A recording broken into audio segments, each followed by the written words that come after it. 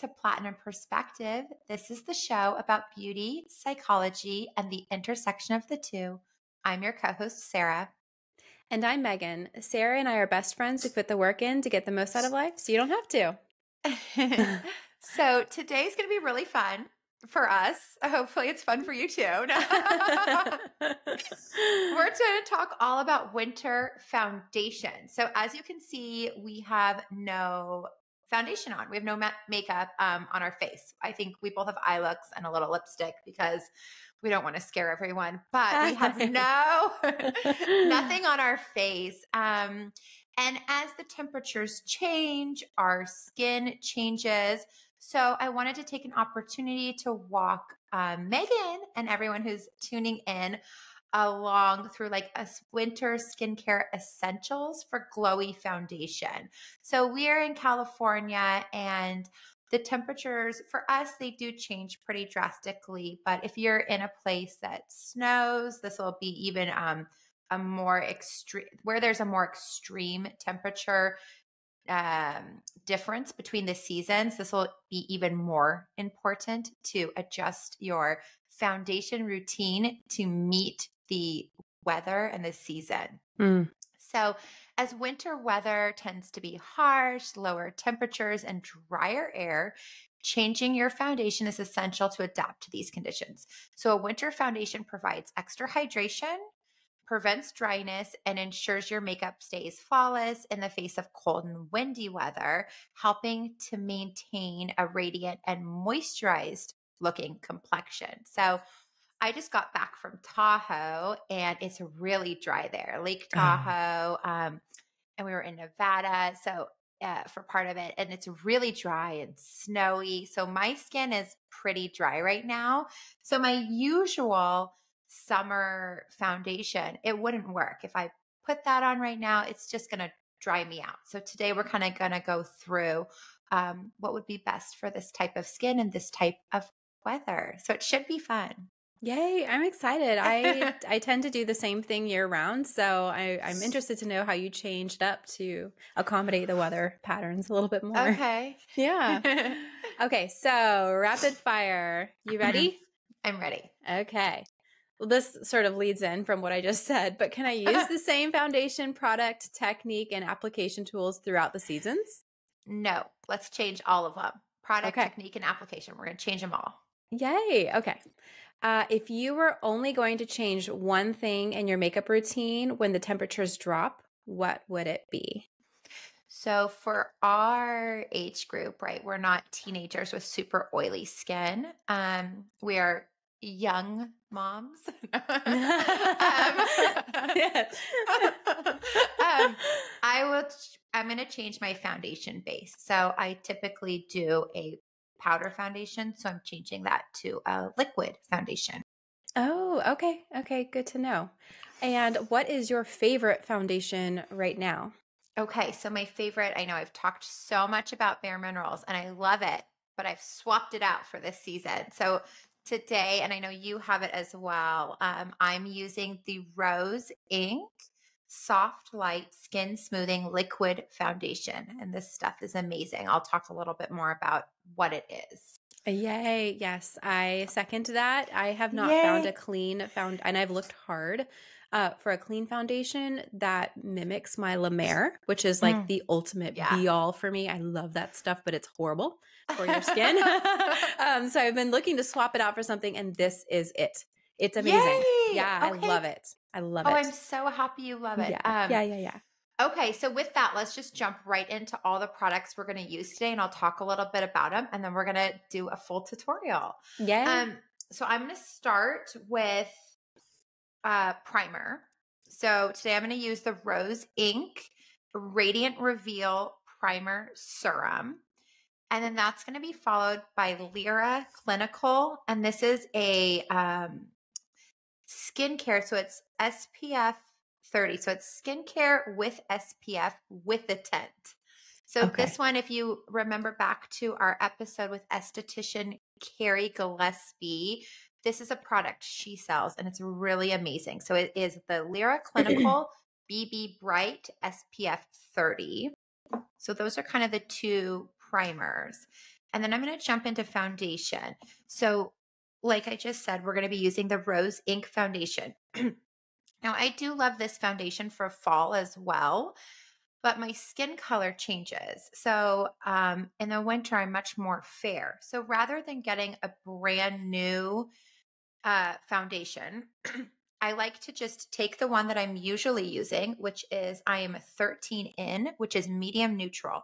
And that's when I'm more on the tan side.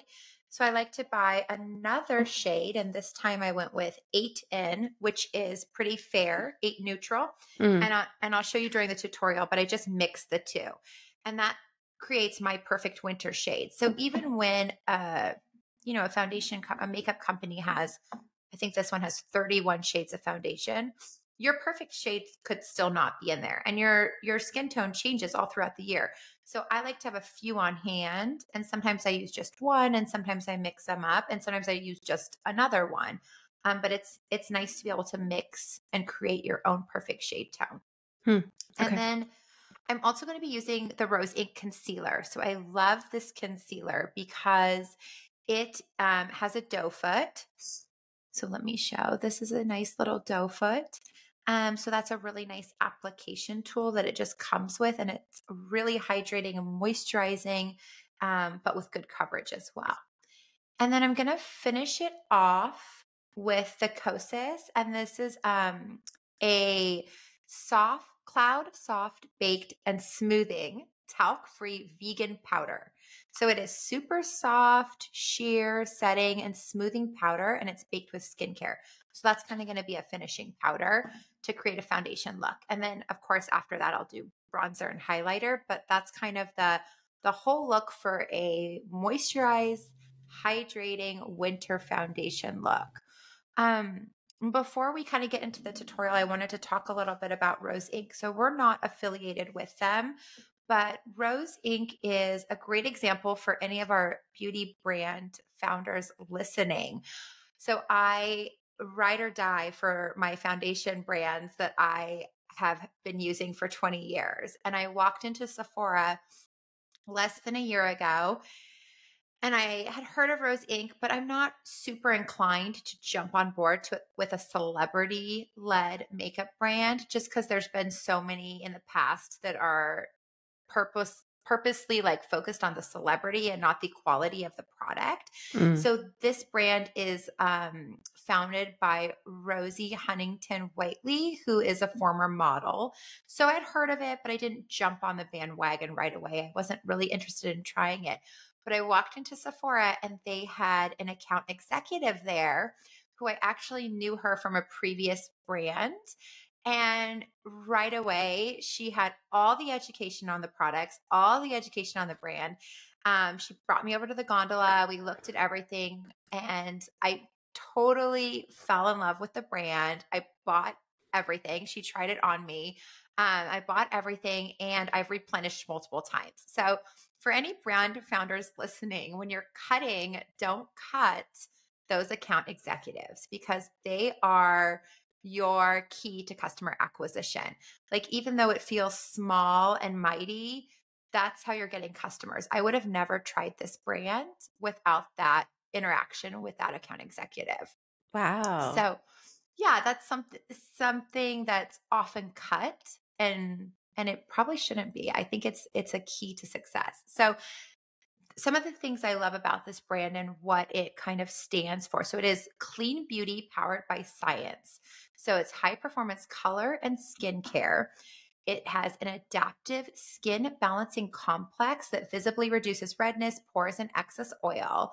So it has a targeted hydration complex with ectosin, an emollient blend of calm, replenishing, and hydrating the skin where it is needed. And then I wanted to read one other thing because I have it on my phone right here.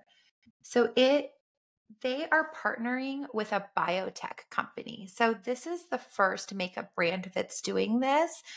And that's really interesting. I think that that's probably been needed in the space for a long time.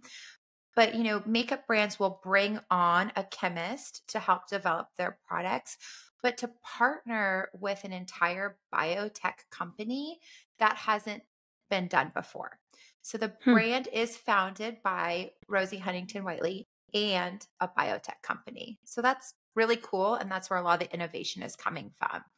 So a lot of their ingredients they're they're using is fermented reishi mushrooms, which support support the moisture barrier for plumper, smoother looking skin. And then lots of other natural vegan ingredients, a lot of vegetables, a lot of minerals. Um, and they've really done an amazing job. And so, when did you first try it? I first tried it maybe it's a new acquisition for me. So maybe like a month ago, I had okay. bought a few others and I was horribly matched in store by just like a salesperson at Sephora for these other ones. I brought them back and I was looking around and I think I had texted you like I'm at my wits end. I, I bought this I bought two others and I just really didn't like them and I was I like I, willing. I think it was ones I recommended too. it's okay because I think you know everyone needs a little bit different uh, texture for their skin, yeah. and the ones I was trying were either way too sticky and thick or they were too runny. And I just I was not going to budge from my La Mer till I had a solid option, and I just wasn't finding it. So um, I went in and they tried to come match me again, and I I said no, I'm going to match myself. Don't please. I will do it myself. And I went to the Rose Inc counter, like you mentioned, and just tried a few of them on my skin. And I loved the way that they felt and the way that they looked. But you know, you never really know till you bring it home and cover mm-hmm. your face in it to really know what it looks like on you. And I was so happy with the end result. And I think you mentioned too, I think this is so cool, but they use plant stem cells or something yeah. like that for a regeneration yes. of, on your own face, which is amazing. They do, which that's, that's so cool. a lot of companies, a lot of clean beauty companies do. Um, Bare Minerals was a leader in that, but it is really cool. And I do always look for that for plant stem cells within foundation, especially in skincare as well. Yeah, yeah, I like it. So, well, and I think like speaking to your experience with um, getting shade matched poorly.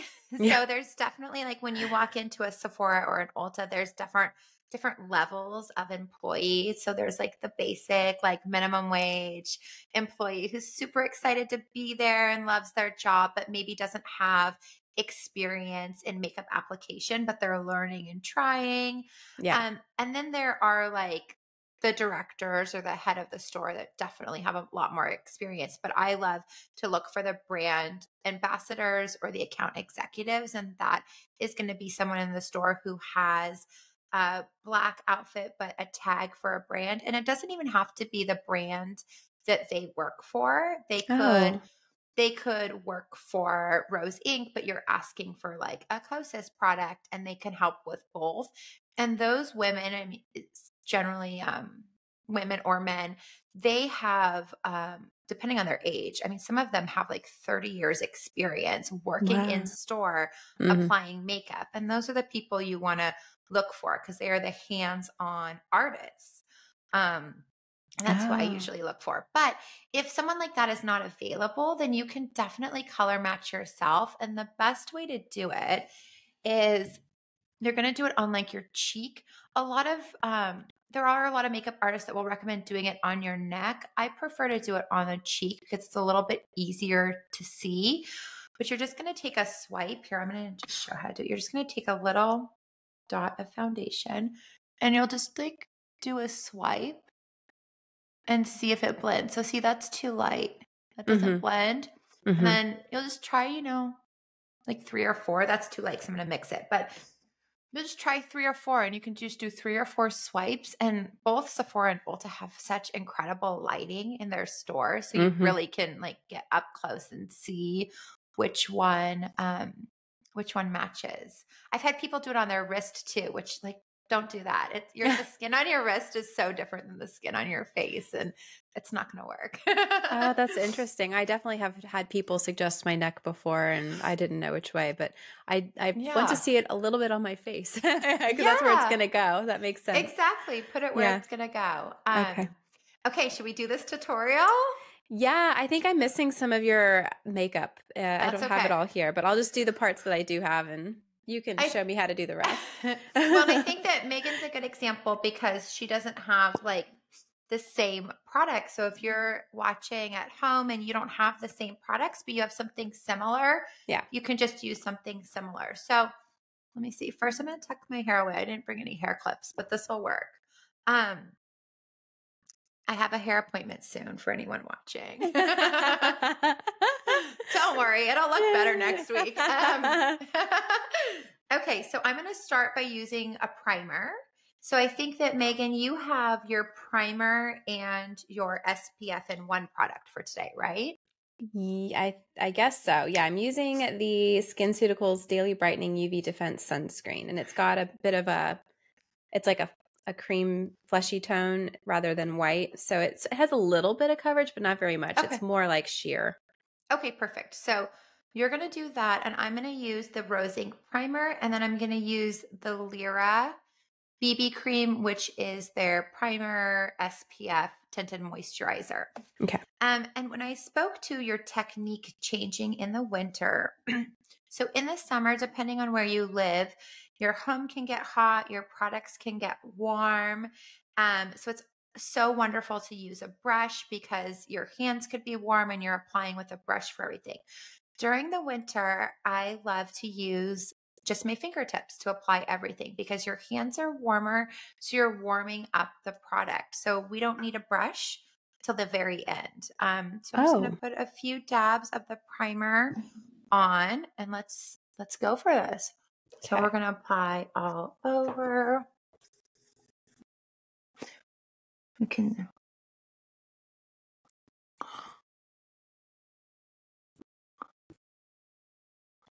Now, is there any and technique to the way you put this on, or is is there maybe later coming up for foundation, like going up or going down or yeah, side to side? I mean, I think up is genuine, generally like what people like to do, um, to kind of push your skin up.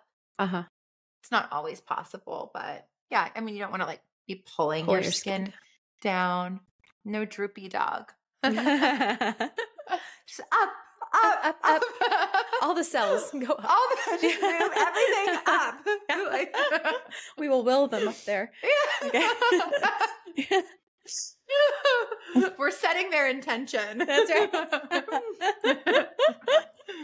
okay, I'm gonna do my BB cream next. Now this one is a thicker, a thicker BB cream because it has the SPF in it. So I'm gonna give it a minute on my fingertips and kind of warm it up. Because when you put a really cold product on your face, it's harder to massage it in. So I've really warmed huh. this up. Okay.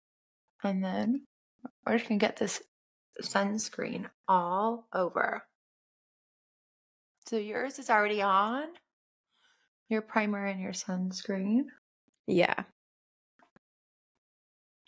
I do have we a darker sunscreen that's like a little bit more looks like that. It's the physical fusion UV defense, and it, it does come out. I mean, you can wear it as like a foundation. It's so pigmented. Oh, that's like the revisions one. I love that one. Yeah. And then just go down your neck a little bit. Um, yeah, just one sunscreen is good. Whichever one you choose is fine. And this okay. foundation we're using today is medium coverage, but it's buildable. So if you want a little bit more, you can definitely add more. Um, so you don't need a super pigmented sunscreen. But I mean, it is nice. Like look, look at how that sunscreen already applied. Like this could be okay to run out. Mm-hmm. And yeah, it smooths things a little bit. It yeah. looks nice. Yeah. We can do a laser episode soon because I'm getting a new type of laser on this sunspot right here next month. You are not the halo, something else? I'm going to try a spot treatment for this. So this spot right oh. here is a oh. birthmark and I'm going to do the halo again, which I love. But I do have this like sunspot, I think from growing up in California and like driving the reflection. Um, so I'm trying a, a new type of, um, I'll have to come back with a name. I'm blanking on the name, but a new type of laser that's going to go just on that area. Cool. So we'll see something yeah. new. Yeah. All right. So I've got my primer and my sunscreen on. So now I'm going to do my foundation and this is where I'm going to mix. So first I'm going to do my regular kind of fall shade and I'm 13 in, which is for neutral. What shade are you? I'm 9W, which says light, medium, warm. Warm. And this Okay. matches me pretty perfectly in my opinion. So I don't I I, don't mix it. but I'm sure as I get to closer to the summer I'll need Yeah. a darker color. Perfect. Yeah. So I just did like a little a little dot there. And then I'm gonna add on top a dot of eight neutral. So that's my light shade. And as the winter progresses, I might add more of this, but Mhm. I've still had a little sun. I'm not totally fair right now. You're not a ghost. I'm not a ghost Okay, yet. Yeah. Um, okay, so then I'm just like mixing it really well together. And then I'm just gonna apply it the same way that I applied my sunscreen. Is I'm gonna first dab it on and then massage in with my hands. And does this go all the way under the eyes or yeah. mhm. around? Okay. I'm putting it everywhere. We have eye makeup on today. Um, if we didn't, I still wouldn't put it on my eyes. I would leave my eyes bare until I put an eyelid primer and the eyeshadow on. Oh. Make sure you're getting it all around. So, yeah, foundation doesn't need to go on your eyes unless you don't use a primer and you're using your foundation as a primer. Some foundations work better for that than others, but I like to use a eyelid primer. I do too. But so you're saying you put that on before you do foundation or after? um after, but I don't put foundation on my eyelids. Oh, okay. Okay. Got it. Yeah. And so then I just like gently rubbing it and bring it all the way down the neck so there's no line. I'm gonna blend it around my nose. Okay. We're gonna How need to get ourselves mirrors there. I know. I'm looking down to see myself. Sorry, everybody. I don't know how I did. I know. Same. Okay. You know, I used to do these tutorials for some bigger makeup companies without seeing myself at all because it was the way they used to film these like in the early 2000s. yeah. Well, they probably know you're so- constantly like referencing yourself as you're putting it on, as we are Yeah. right now. so, that's so It's funny. so funny. I know, it's so funny. Okay. So this is pretty good. I love the way this foundation feels. So I like kind of just a medium coverage. If it was going to be like if I was going out or going to an event or doing something other than the day to day, I would do that exact same thing one more time for a little bit heavier coverage. Um, okay. if I was going to have a lot of photos that day, but for just the regular day to day of my super glamorous mom life, I just need to do it once. Okay. um. So that's it. Uh, so next, I'm going to do concealer, and I like to use this concealer in a few places, not just under my eyes. What concealer are you using today? Do you have the same one? No. No, I'm using, I have Westman Atelier and it's like a foundation stick, but it's so thick that I use it as a concealer. And I have two shades. So you have to tell me which one to use. I have a lighter shade, like shade zero. It's really light. And then shade two, which matches my skin a little bit better. Okay. Look, can I see the shades? Oh, yeah. So it's nice to have, I love to have concealer be like one or two shades lighter than your skin to kind of brighten that area. Okay. Cute. So this is the lighter shade and this is the darker. I think for right under your eye, let's use the lighter shade. Okay. And then I do a few dots of concealer in other places, like where I have a few sunspots. So for that, if you have that, I don't know if you do, your skin is pretty flawless. Oh, But for that, you could use the darker shade. okay. So for this rose Inc one, like I said, it comes with this really great doe foot. So I'm just gonna dab, dab, dab, dab, dab, and a C around the bottom of my eye. And for this side, I'm gonna add a little extra over that beautiful sunspot. and I have another sunspot right here on my cheek. I add a little extra concealer too. And then, similar to the foundation, I'm just going to use my finger to kind of warm it up. Um, you know, during the summer, if my hands are really warm or my skin is a little bit more oily, this is where I would use a sponge or a concealer brush.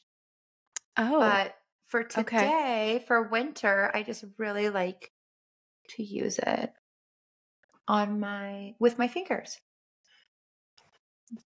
kind of get that all over. And then I forgot to mention it's just like habit for me. But when I'm using my hands for any makeup products that are also skincare, when I'm done with that product, I just like put the extra on my hands. Okay. So the tops of your hands can always use some sunscreen. Um, so if it's something with skincare benefits or sunscreen, just put that extra product there. So you're not having to to wipe it off. Okay. When you're doing your concealer under your eyes, do you Yeah. go all the way up and around or just under? No, I, ju- I just go to like the, The inner middle. corner Okay. and then down and out. If Okay. I'm really tired, I just do it all. No. Do your whole face. My whole face with concealer. no. I'm slightly rested today, so I just did it right over there. Got it. Okay. So it's hard to totally tell in the camera because we're not using a mirror, but I think that looks pretty good. Yeah. Your yours looks good. Thanks. Yeah, it looks feel feel moisturized. I, I do like the fingertips. I've been using a brush this whole time. Yeah, I mean, I think during winter it's so nice. The fingertip, you just like warm up the product a little bit more so it can set. Um, and then lastly, for a foundation look for the winter, I always want to use a cream based setting powder. So a lot of powders out there are amazing, but they're drying more. I would actually, we should use the word they absorb.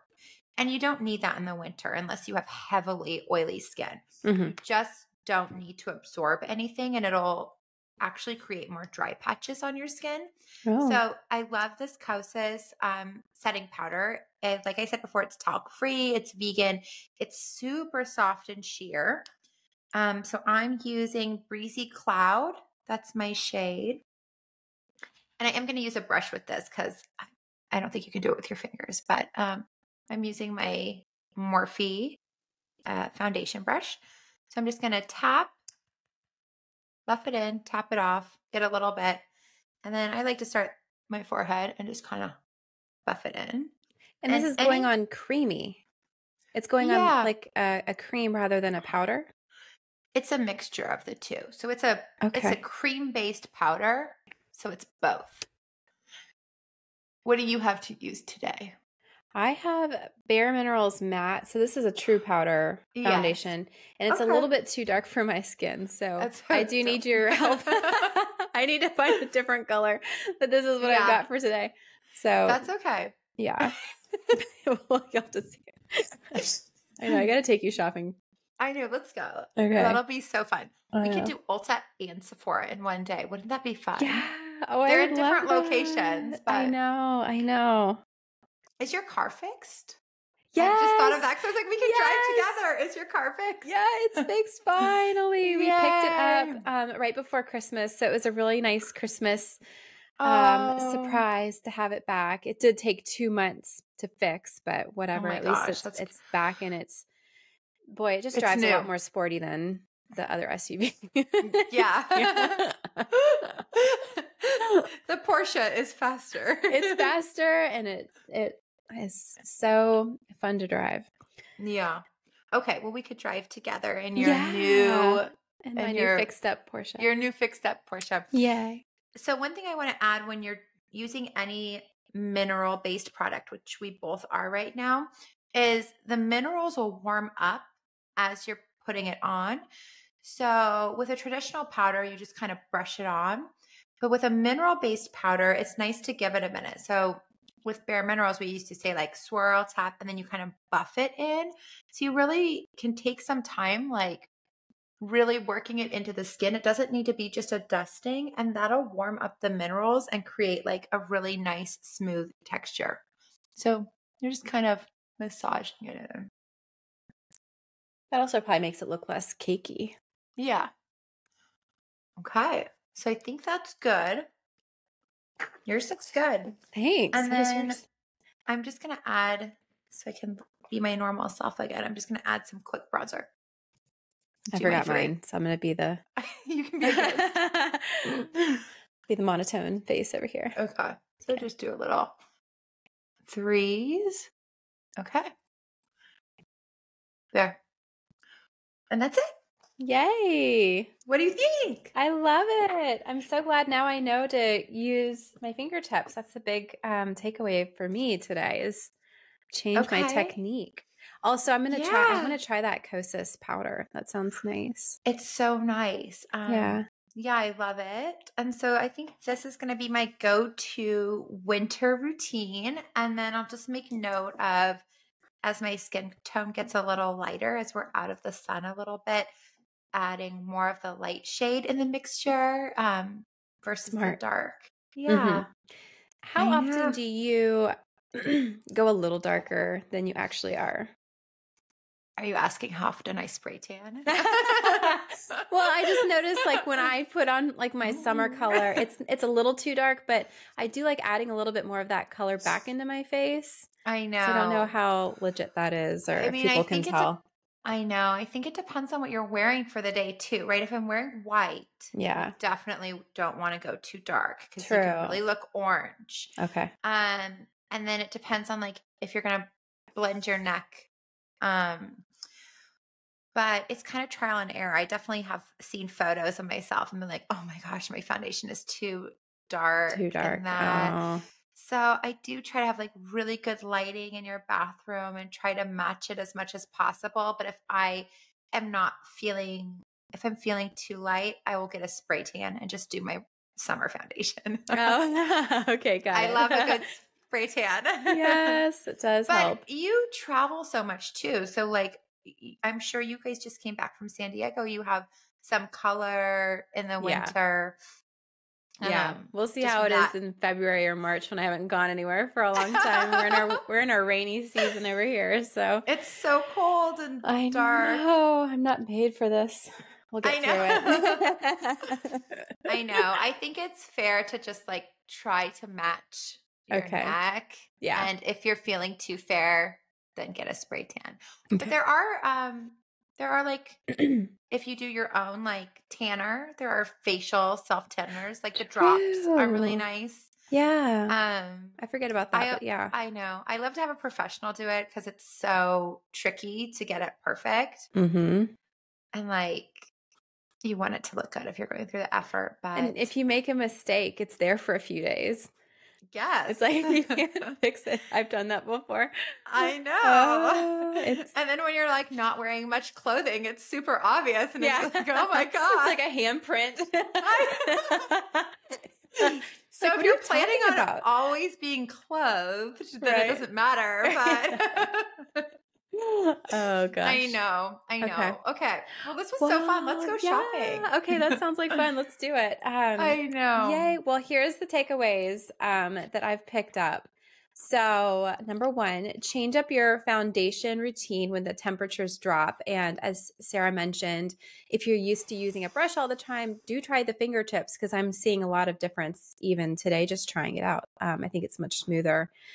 Number two, look for liquid hydrating foundation swaps. Mm-hmm. Um, give that a shot. And then try a creamy setting powder um, if you're not using that yet. So that's going to be my next step. I'm going to go out and try that creamy setting. I've never tried something like that before. My powders have always been um, oh, okay. real powder. I've never tried found, uh, foundation powder that's creamy. Great. And then number four, this is a, a really big takeaway. Always use SPF, even if you don't see the sun shining. So, right now for us in Northern California, it's raining and drizzling, but you can bet that Sarah and I are both using our SPF yes. anyways because we want to maintain our skin and uh, get, you know, less wrinkles and all of that. So, it does help with all of that. Yeah, it's so key. It's so easy to be like, oh, there's no sun and I don't need it. But yeah. I have learned otherwise. Yes. the spot on my face that will be removed at some point. Oh. I know. Well, this was so much fun. Thank Yay. you, everyone, for listening or watching. And if you're not watching, we're on YouTube now. So you can tune in and see the video, um, which should be fun to watch or funny to watch. um, but that's it for this episode of Platinum Perspective. Thank you for listening. Tune in every week for more beauty and psychology. And please tell your friends, rate, like, and subscribe. Bye. Bye.